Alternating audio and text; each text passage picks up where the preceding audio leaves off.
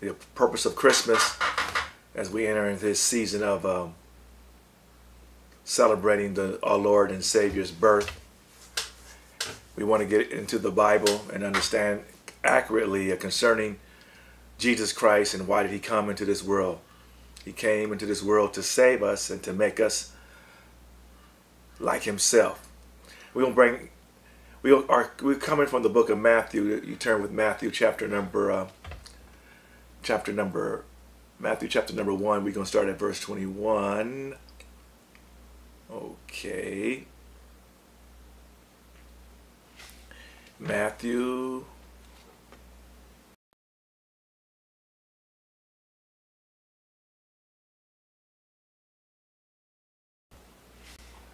All right, Matthew. We got it. Matthew chapter number chapter 1. Here it says, And she shall bring forth, and she shall bring forth a son, and thou shalt call his name Jesus, for he shall save his people from their sins.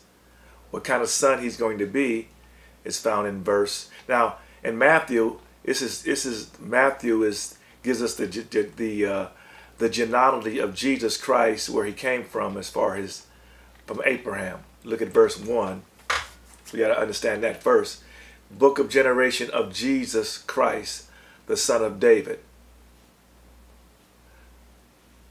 Abraham begot Isaac, and all the way from Matthew chapter 1 all the way to 21 is 42 generations. All of these lineages through Joseph, the husband of Mary, came Jesus. Why did he came? And she shall bring forth a son, and thou shalt call his name Jesus, for he shall save his people from their sins.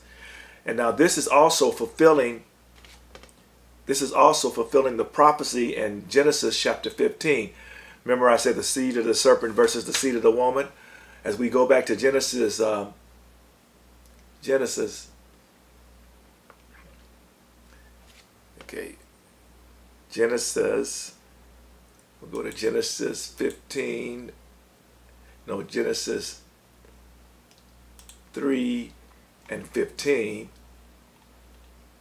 This is God's purpose of sending his son is to fulfill what was that God made with Mary, uh, with Eve, excuse me, concerning the seed of the woman.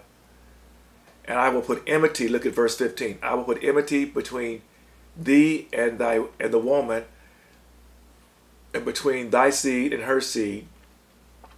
It shall bruise thy head,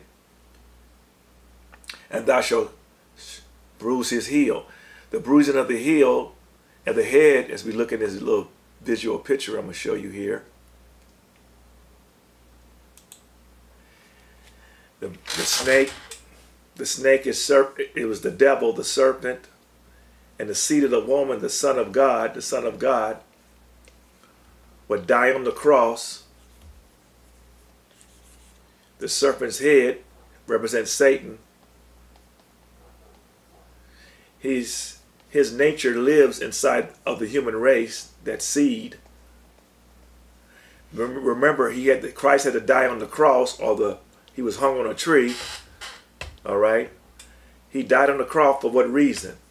That he might put the fruit where it came from back to Satan, the fruit of, of the knowledge of good and evil. Adam and Eve ate the fruit of the tree. They ate from the fruit of the tree. It contaminated the entire human race. Every one of the human race became a, a servant of Satan because of the seed that was in the fruit. So God sent the Son of God as a gift, as a gift, Remember, just going back to Matthew, look at Matthew. Got to understand the Bible. I'll get there one day. In Matthew, look at it says. In Matthew, Matthew chapter what? Chapter 1. Look at verse 1, verse 21.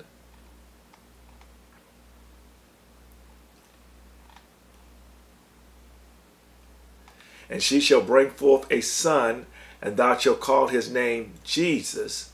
That's the name of the Son. For what reason? For he shall save his people from their sin.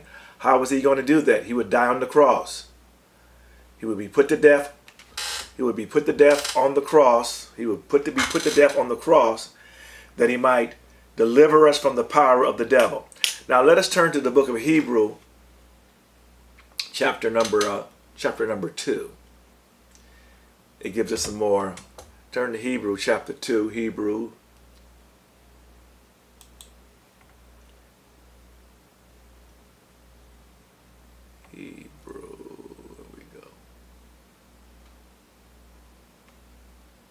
Hebrews chapter 2.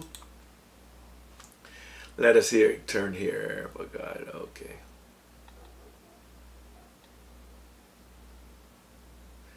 Here at verse 1 it says, verse 6, but, but in a certain place he testifies saying, What is man thou art mindful of him? We, it goes back to Genesis chapter number, go back to Genesis chapter number, uh, chapter number 1 and 26. God made man in his image, after his likeness. God created man in his image after his likeness. So let them have dominion over the fish of the sea, over everything. But something happened, and after God formed man in chapter 2, he from the dust of the ground, in verse 15, God commanded the man not to eat of the tree of the fruit of the knowledge of good and evil, for in the, eat, in the day that he eat, he will surely die. In chapter 3, we see the beginning of the transgression of the first parents. Paul says in Romans 5, by one man, parakoi, disobedience, all became sinners. What was the disobedience? Do not eat from the tree of the knowledge of good and evil, for the day that you eat, not look, not touch, not smell, but eat, because what they ate became part of their body. The seed of the serpent was in the fruit of the tree, and the serpent is the devil. That's why original sin is from Satan. The whole entire human race became a child of the devil because of the seed that they were born with in their bodies made them a slave to the devil. And the only way to get it out of us, God had to die, send his son to die in our stead, to pay the price for sin, which was death. If we would pay for it, we would pay for it eternally. Christ would die once to pay for the sin. So what happens in, in, in Genesis, in Matthew chapter 1, 21, is the fulfillment of the prophecy that was made that God will send his son or the seed of the woman that's why Christ was born of a virgin. Christ was not born by the power of his father Joseph. If you read the whole chapter of Matthew, Joseph thought his wife committed adultery. He was going to put her away privately. Then the angel of the Lord appeared to him in a dream, saying, Joseph, thou son of David, fear not to take unto thee Mary thy wife, for what is conceived in her is the child of the Holy Ghost.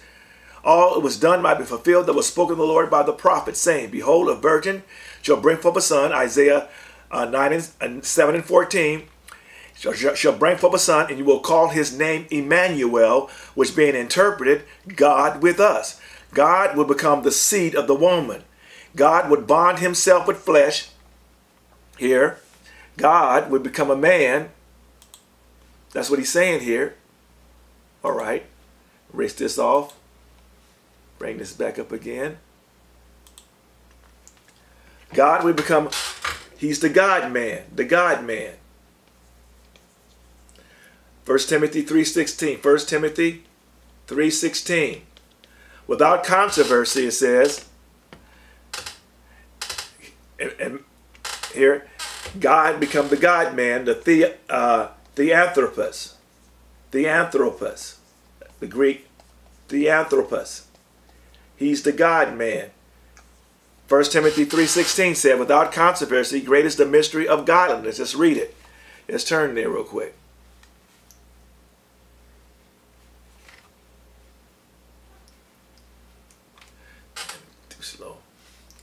Look at 1 Timothy. Uh, 1 Timothy 3.16. Let's go to the 16th verse, what it says.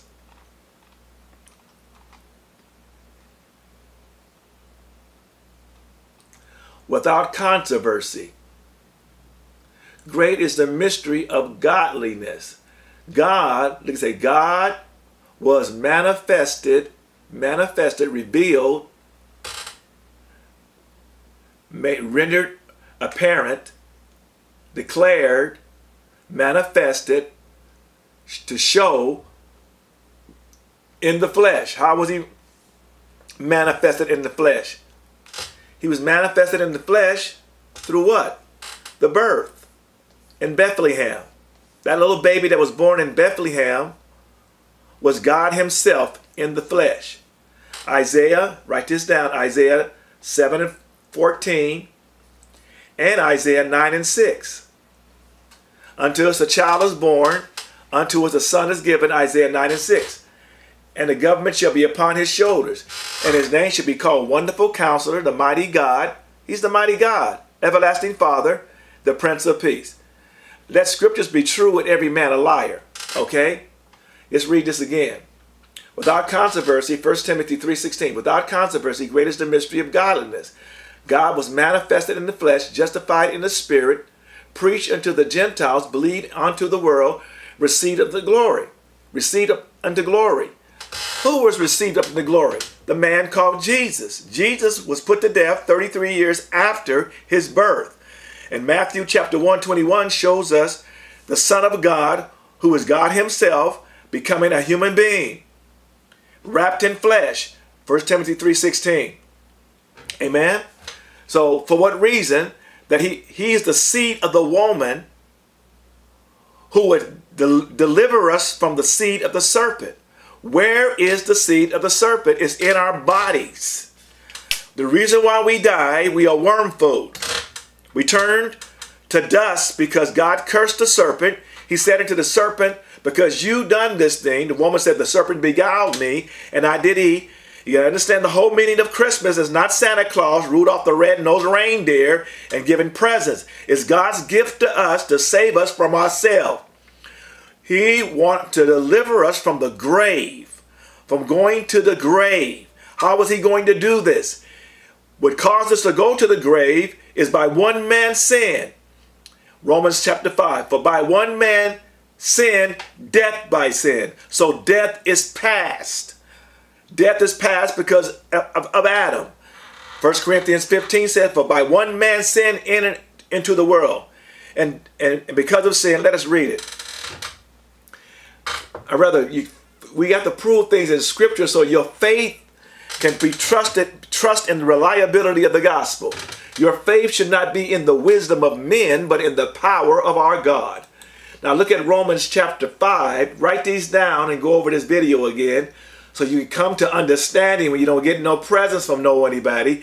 The greatest present, the gift that God has given us is his son Jesus. Amen. I celebrate Christmas. I give gifts, but it's not the, that's not the point. It's getting your, in your mind that the whole reason of Christmas is Jesus. Amen. And if you have Christ, you got the greatest gift. Turn with me to Romans chapter 5. Look what he said. Romans chapter 5, I think in best, verse 12. Look at verse 12.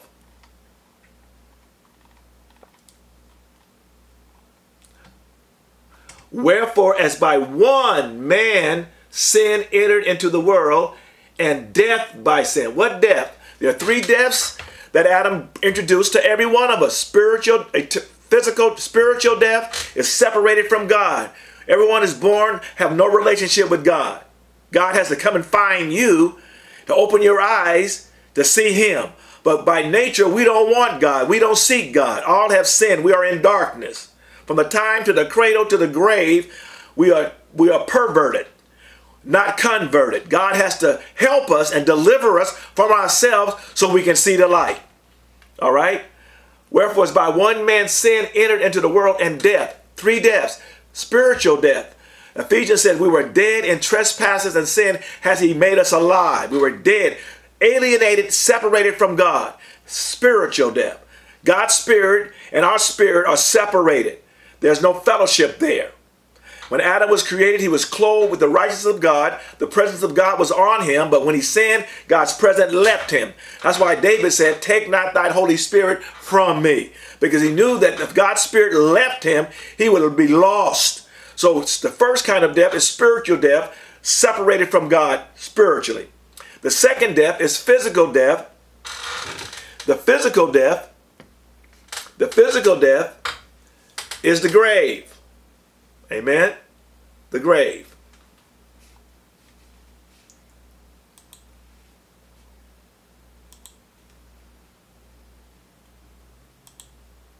Physical death was when we die, okay? Then we go to the grave. All right? Throw you in, you in a casket. Amen? Either by whatever mode of death, when you die, you go to the grave. This is called the grave. The grave is physical death. Physical. Physical death when the body returns back to the dust. God said unto Adam, From dust you are, from dust you are, from dust you shall return. Amen. God cursed the ground. He said, Cursed is the ground for thy sake. Amen. The grave was a, was a, was a means of God delivering us through our Lord Jesus. If we could not die, we could be unredeemable. We could not be redeemed. The word redeem is to buy out of a slave market. If we are slave to sin and we are immune to death, what way can God redeem us? How can he deliver us? What, what payment can he use if people have eternal life? So God allowed physical death as a means to bring salvation to us through our Lord Jesus, who would die on the cross. Amen. About 4,000 years into the future, God will send his son to die on the cross, to die our death, that through the resurrection of the dead, he would rise from the dead on the third day, third day, that the resurrection is the proof that God accepted his son, paid in full for our sin debt that will take us to the grave. So Jesus came to be our Jesus Jesus was our kinsman redeemer. The word kinsman redeemer, he he kinned himself with flesh. He became something he never was, remained what he was.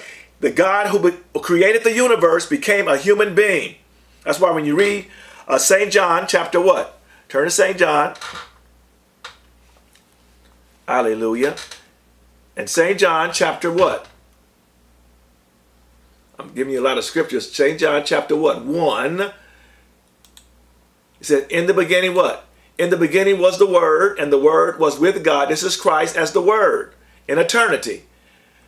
The same was in the beginning with God. All things were made by him, the Word. And in him was life, and the life was the light of men. And the light shined in darkness, and darkness comprehended not. There was a man sent from God whose name was John. The same came for a witness to bear witness of that light, that all men through him might believe. He was not that light, but was sent to bear witness of that light. That light is that little baby that was born in Bethlehem. He was the true light that lighteth every man that cometh into the world. He made the worlds and made man in his image. He was, look at this, verse 10. He was in the world, and the world was made by him, and the world knew him not. He was in the world, and the world was made by him. Now look at this same one. Look at verse 14. And the Word who made the world, and the Word was what? Made flesh. Look at that word flesh, sarx. He became a human being. He was made flesh and dwelt. The word dwelt, he pitched his tent among us among us. And we beheld his glory, the glory as the only begotten of the Father, full of grace and truth. For John bare record, witness of him, cried, saying, that this was he whom I spake. There cometh after me a coming after me is preferred before me, for he was before me. And of his fullness have I received what? Grace for grace, favor for favor. For the law was given by Moses, but grace and truth came by who? Jesus Christ. Amen. By Jesus Christ.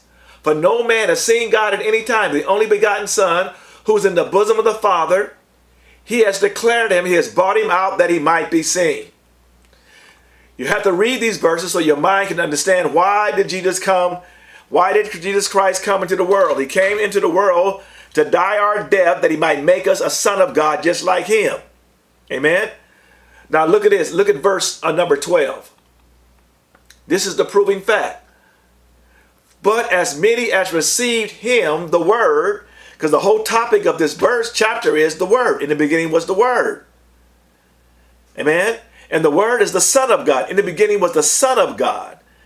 and the Son of God was with God. The word beginning here, arche, it does not mean the beginning of creation. It is the beginning when the word out of eternity spoke nothing and nothing became everything. Here it is. The word in the beginning is the word arche. It is, the, it is when God out of eternity spoke his word and time began. And the, and the one who spoke his word was his son, which is the mind of God revealed in creation, unknown in eternity, because the mind of God, only God knows his mind. So God revealed his own mind as the person of his son, the son of God, Jesus Christ. In the beginning was the son of God, which is the word of God, which is the mind of God. Because the word logos means an inward thought. It means a thought in the mind. And what it means, an inward abstract thought. Jesus is the mind of God revealed in time and creation. Who has known the mind of God? The mind of God. So God revealed his mind and, the, and he called his mind the Son of God, which is God himself revealed in creation. Amen. The Son of God always existing, existed with the Father because he's the mind of God. Christ, the, the, with the power of God. Christ, the wisdom of God. Christ is the mind, the eternal mind. In the beginning was the Word, the same Word that spoke the worlds in Psalm chapter 33. By the word of the Lord, the heavens were made. The same Word in Genesis chapter 1. In the beginning, God created. In the beginning, the Word created the heavens and the earth. And the, and the Word spoke, and the Word said, let there be light. And the word said, let there be dry land. And the word said, multiply, replenish the earth. And the word said, let us make man in our image. And the word made Adam and Eve. And the word created them in his image. Who is the word? Jesus Christ. So the word became flesh to be like the ones he made in the garden that he might die their death. And Lucifer didn't know that. The Bible said if the princes of this world would have known, they would, they, have, they would have never have crucified the Lord of glory. So in the book of Hebrews, it's, it's a love story for the entire body of Christ. God sending his son, amen, wrapped in flesh, which was not known in the sons of men in other ages, but in these last days, he has revealed his son to us. Let us turn to Hebrews chapter number what? Number one first, and we're going to look at chapter two. Look at this. Look what he says in Hebrews chapter one. Amen. Hebrews chapter one. God, who at divers times, sundry times, and divers manners, spake in time past to the fathers by the prophets. When he say fathers, he's referring to the Jewish nation, the, the children of Israel, because that's through through the nation of Israel God sent the Savior. Abraham begot Isaac, Isaac begot Jacob, Jacob begot 12 patriarchs, and through the lineage of Judah came David, the royal line. God sent his son Jesus, and he would wrap himself in the seed of David, amen, that he might be the Savior of the world. That's why you read Matthew chapter 1 and Luke chapter 2. We see the coming of the Messiah. Through Luke, we see Jesus through Mary, making him the legal line from tracing him all the way back to Adam. 72 generations. The Gospels of Luke, chapter 2, traces Jesus all the way back to Mary. Amen? Amen? Either, let me make sure it is. I think it's, let me see, make, make, make it very clear. Let me turn to, uh, I have it right. It's Luke 3 or Luke 2. Make sure I have it.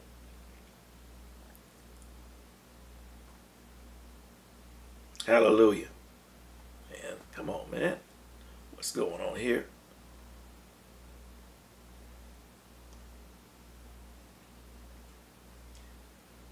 Luke chapter 3, I believe. 1. Okay. It's chapter 3, I believe.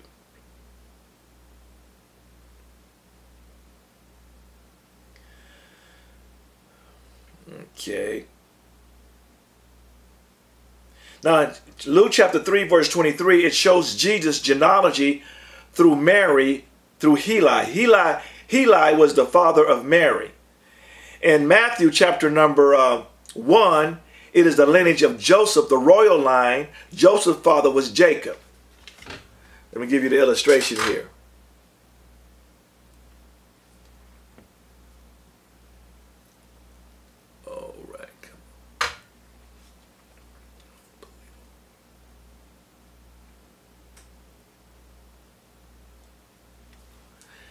Okay, in Matthew, Matthew chapter chapter 1, it traces Jesus through Joseph. Joseph.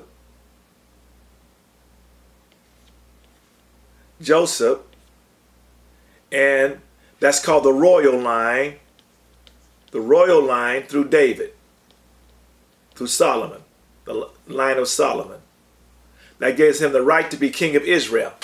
Through in Luke, the Gospel of, of Luke, it is chapter number chapter number 3, verse 23. I think it's 23.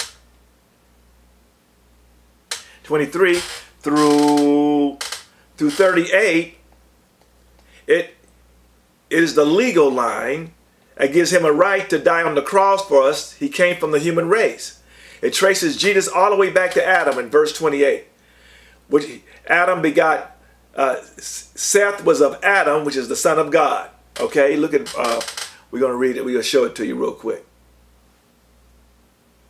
okay let me go back here look at uh, Luke. We're going to turn to Luke. I'd rather prove this to you so you can see it, so you can read it.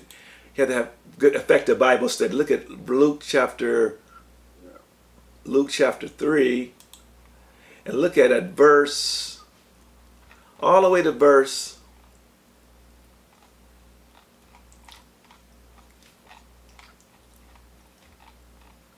all the way to verse 38. Just start at, just start at verse 23 first, so you can see what I'm coming from. And Jesus himself began to be about 30 years of being as supposed the son of Joseph. He was Joseph was not his father, he was his he was his stepfather, uh, legally his, his father based on marriage, but he was not his biological father which was the son of Heli. Heli was the, was the father of Mary. Because Jesus, this is the marriage lineage.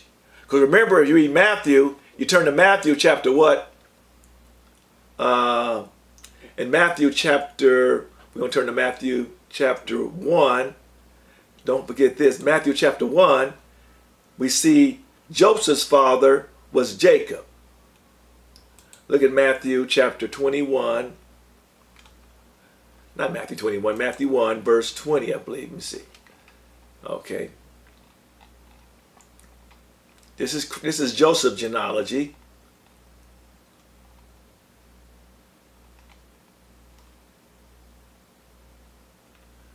Okay.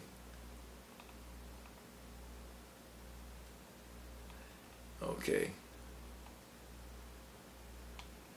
Okay. And look here, verse 16 is, and Jacob begot Joseph. Jacob's daddy, Joseph's father was Jacob. This is called the royal line. So we have, Jesus came through two, gen, uh, he has two genealogies. You trace him through Mary and you got to trace him through Joseph.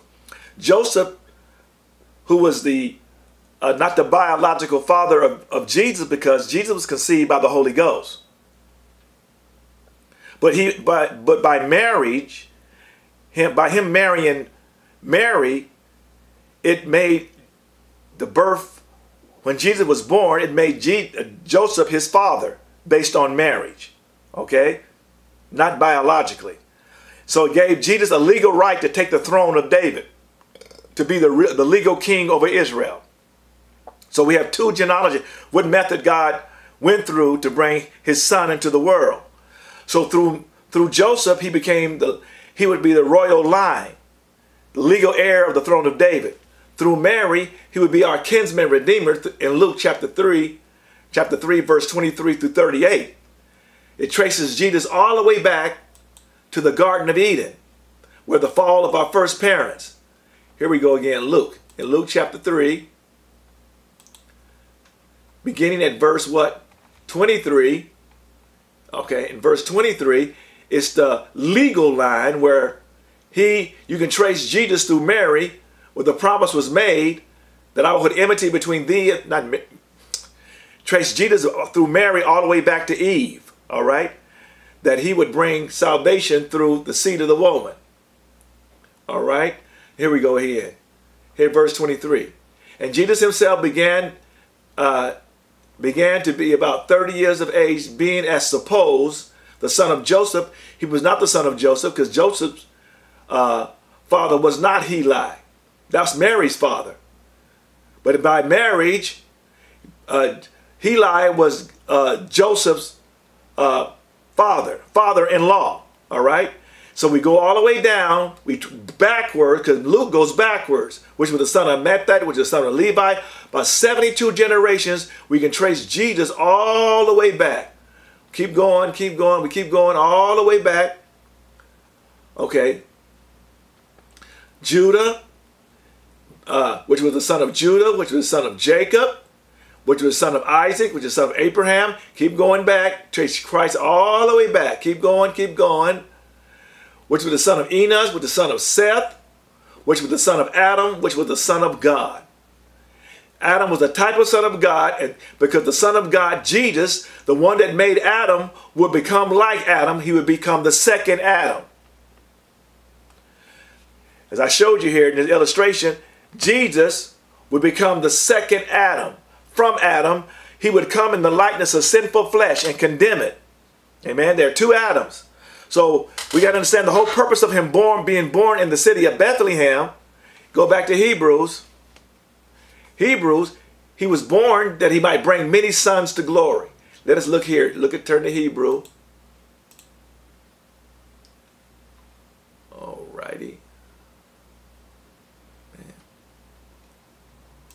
Hebrews. Okay. Look what he says. God, who at sundry times, in divers manners, spoke in time past to the fathers by the prophets, has these last day, days spoken to us by his Son, the Son of God, whom he has appointed heir of all things, and whom also he made the worlds. So he's saying the Son of God made the worlds. How did he make the world? Before he was made flesh. Amen. The little baby that was born in the Beth city of Bethlehem is our creator. He is the one that made the universe. Read St. John chapter 1. In the beginning was the Word, that's the Son of God. And the Word was with God, and the Word, the Son of God, was God. But he was not made known to Israel until he was made flesh. That's why he says in Hebrews chapter what? Chapter 1, look what he says. God who at sundry time in various ways has these last days spoken to us by his Son. Look what he says. God who at sundry different ways and different manners in divers manners spake in time past unto the fathers by the prophets. But he didn't speak to, the, to them by the Son of God. He was latent. Latent means he was there, but he was not revealed. He was patent when he was made flesh and dwelt among us. Has these last days spoken to us by his Son. He has appointed him heir of all things. Look at by whom also he made the world. Amen. Read Colossians chapter 1, verse 15. Look what he says with the Son of God. Oh, the Son of God is not the creator of the world. Yes, he is. He created everything and everyone. We'll go back here. I'm going to give you another reference to Jesus making everything and everyone. He is the source because he is the Word of God. He is the mind of God. He is God himself wrapped in flesh. Look in Colossians. Colossians, we'll get there.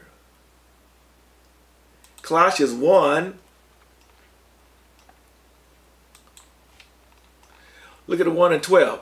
Look what he says in 12. Tell you what, what God the Father has done for us at the birth of Jesus. This is what God has done for us. Giving thanks unto the Father who has made us meet or qualified partakers of the inheritance of the saints in light, who delivered us from the power of darkness because of the cross of Jesus. He has translated us into the kingdom of his dear Son, the one that was born in Bethlehem. He translated, has taken us. Look at the word translated. He has taken us, transferred, to carry away, exchanged, okay, remove into the kingdom of his son. He's going to bring many sons just like Jesus, whom we have appointed, whom we have redemption through his blood, even the forgiveness of sin. Who is the image of the invisible God? Who is the Son of God? I thought Adam was. Adam was made in the image of the Son of God in Genesis chapter 1, 26. Who was the image of the invisible God? The Son of God. And Adam also. Because God made Adam in the image of the Word. So the one that was, he was made in the image of the Word, and the Word came to save us, to save his image when he was made flesh. Jesus is the Word of God in Genesis chapter 1. He is the Word of God in, Gen- in Matthew 1 21 and Matthew 1 23. And, and St. John 1 and 1 and St. John 1 14. And the Word, He is the image of the invisible God, the firstborn of all creation. For by Him, look at this, the Son of God, for by Him were all things created in heaven and in earth. In the beginning, God created the heavens and earth. Who did it? The Son of God. The Son of God is absolutely 100%, absolutely, the Son of God is absolutely 100% God. The Bible said, In him dwelleth all the fullness of the Godhead bodily, and you are complete in him. For what reason? That he might bring us into God through the death of the cross. For by him were all things created that are in heaven and earth, visible or invisible, thrones or dominion, principalities or powers. All things were created by him and for him, and by him all things consist. He is before, verse 17, he is before all things, and by him all things he hold together consist. He is the head of the body of the church, who is the beginning, the firstborn from the dead, that in all things he might have all the preeminence. He's the first one to receive a resurrected body. Amen. That's why he was put to death on the cross. That's why he was born, that he might die on that cross, that he might die on the cross, that through the resurrection from the dead, my goodness, that through his resurrection from the dead, he'll be the first begotten from the dead to receive a resurrected body in his resurrection, resurrection, in his resurrection, He's the first born from the dead, not the firstborn of creation. He is the firstborn to have a resurrection body. Amen. He was put to death at the cross. He was buried for three days. He was dead for three days. On the third day, he rose to make a second Adam. That's us. We are born of the second Adam, a new birth. We are sons of God because of his resurrection, sons of Elohim. We are sons of God, sons. Sons of God because of his resurrection. Going back to Hebrew. Look at Hebrews chapter number what? Chapter number 2. We're going to look at Hebrews chapter 2.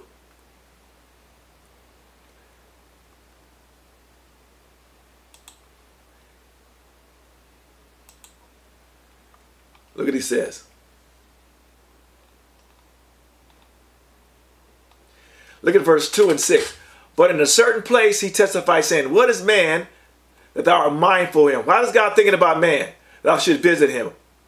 Thou made him little lower than himself. And the angels, but really in, he is in the Hebrew is Elohim, little lower than God, crowned him with glory and honor, did set him over all the works of thy hand. That's why God made us. You're not an accident nor a mistake. Has put all things in subjection under his feet. For in that he put all things under subjection under him. He left nothing, nothing to put under him. But now we see not all things are put under him. Look at verse 19. We see Jesus, who is called the God man, made flesh, who was made a little lower than angels, little lower than Elohim, for by the suffering of death, crowned with glory and honor, that he, by the grace of God, should what? Taste death for every man for what reason? Why he was born. For it became him to be, it became him for whom are all things, for by whom all things, bringing what? Many sons, look at that word, sons unto glory. He want many sons of God that the captain of their salvation are made perfect through suffering. How we are made perfect? We are made perfect because of the cross. The death of Jesus the death of Jesus, his death on the cross,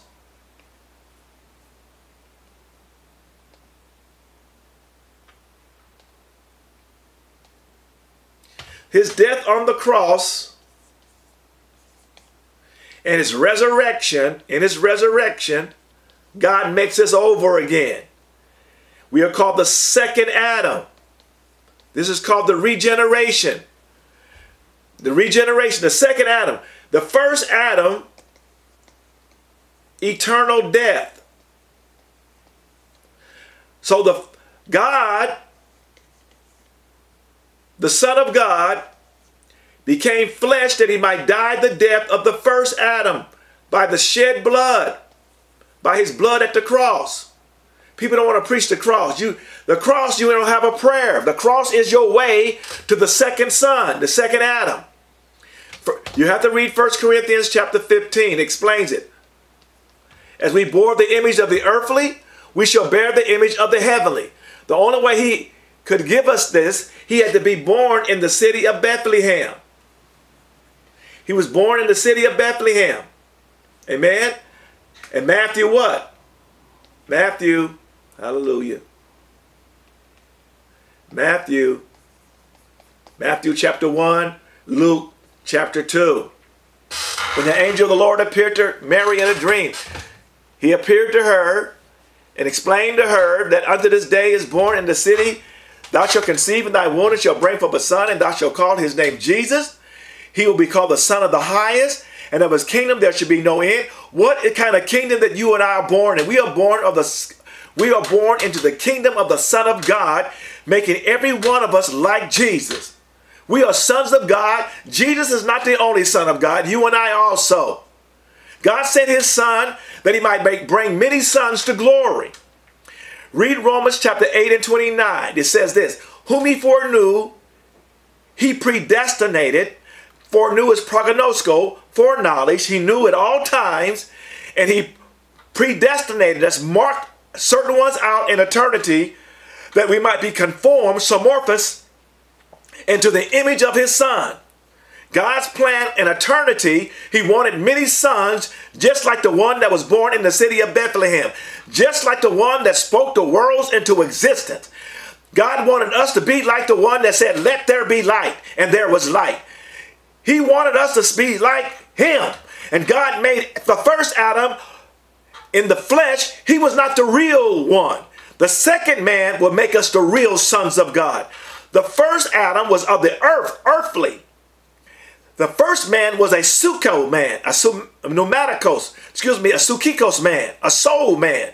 The second man would be a pneumaticos man, a man that is born from the grave through the body of Christ. That's why we take the communion to represent his blood that is poured out for us, cover our inner man, giving us a right to become sons of God because when he sees the blood, it makes we are in a covenant relationship with him in our inner man making us a right to become a son of God through the blood of the cross that the Son of God paid for. And when he rose from the dead, he could breathe upon us and make us a son of God by putting that implant into us. We have not received the spirit of the world, we have received the spirit of his son. God has sent the spirit of his son crying in our hearts, crying, Abba Father, making us a son of God just like Jesus. We can call him Heavenly Father just like Jesus, for he is our Heavenly Father. According to St. John chapter 1, as many as received him, to them them gave he power to become sons of God, which are born not of blood, not by the will of man, but of by the will of God. Not by the will of flesh, not by the will of blood, but of out of the will of God. That word out of is the Greek word is ek. It means generate out. We came out of God because of the decree that was made before the foundation of the world. God chose us in Christ that we might become like Christ. And God loved us so much, He died on the cross before his death, he was born in the city of Bethlehem. That's why all the heavenly host says, Joy to the world and peace and goodwill to all men. For unto this day is born unto the city of David a Savior, who is what? Christ the Lord. Amen. Why did Christ come? He came to be the second man that he might die the death of the first man, that he might regenerate us, make us a new kind of species, being born of a divine nature, being adopted sons, being legal sons of God through the resurrection of the dead. And he sent that implant in you to let you know, don't be sorry that you don't get no gift. God has given you the greatest gift. For God so loved the world that he gave his only begotten son, that whosoever believeth in him should not perish, but have everlasting life. For God sent not his son to condemn the world, but that the world through him might be saved. How are we saved through the son? His son became the toilet to flush everything that's in us in him. He was buried, he was put to death, dead for three days. On the third day, he rose from the dead and sat far above heaven, beyond far beyond principalities and powers, and put everything under his feet. For what reason? That he might make us like him. Hallelujah. Hallelujah.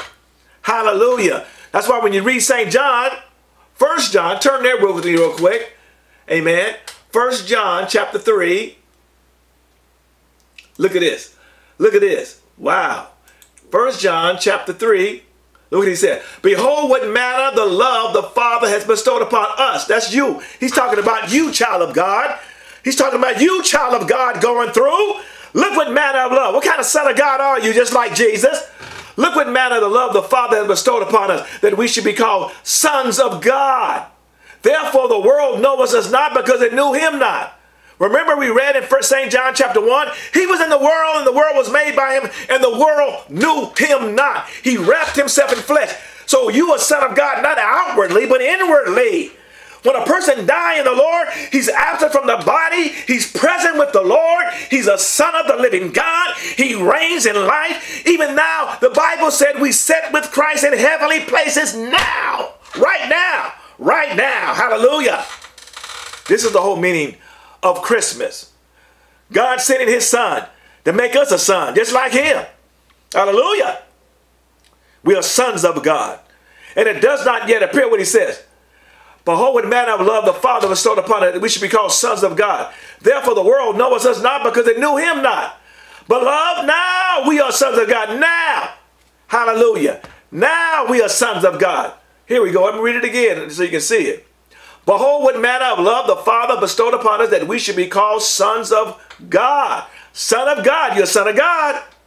Therefore, the world knows us not because it knew him not.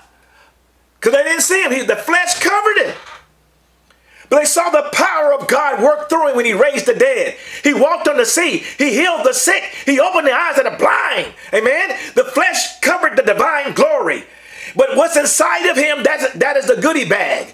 We're going to be like the one that, that the veil covered. Amen absent from the body, we present with the Lord in glory, made into the image of the Son of God. We will reign. The meaning of the kingdom of God, we are kingdom of sons. God made many sons unto God, glory.